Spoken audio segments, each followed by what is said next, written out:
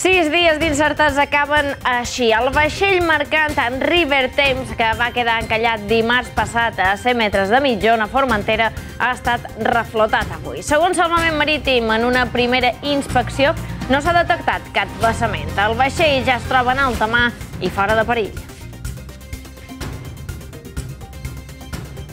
Bon vespre. Els infants i adolescents amb malalties cròniques tindran prioritat per vacunar-se quan s'arribi a la seva franja d'edat.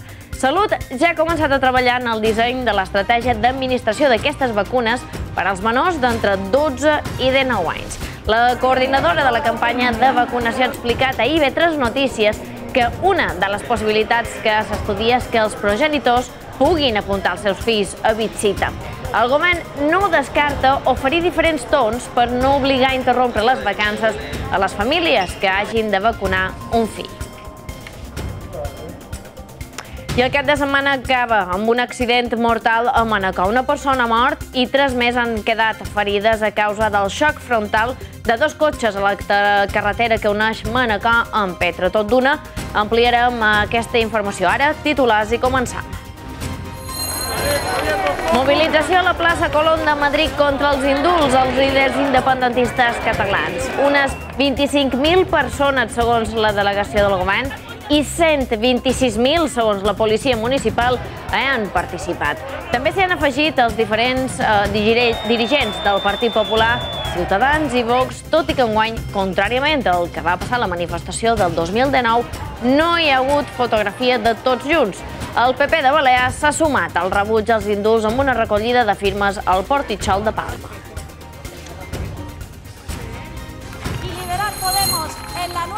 I Podem enceta una nova etapa amb Ione Belarra com a nova secretària general del partit. La ministra de Drets Socials ha aconseguit prop del 89% dels vots a la quarta assemblea ciutadana que s'ha celebrat aquest cap de setmana a Madrid.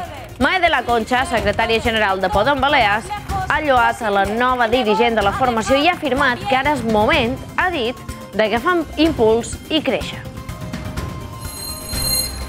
La llei de fosses compleix 5 anys amb un balanç fins ara de 17 excavacions i 161 cadàvers recuperats. El 13 de juny del 2016, el butlletí oficial de Balears publicar la llei per a la recuperació de persones desaparegudes durant la Guerra Civil i el franquisme que es va aprovar per unanimitat al Parlament.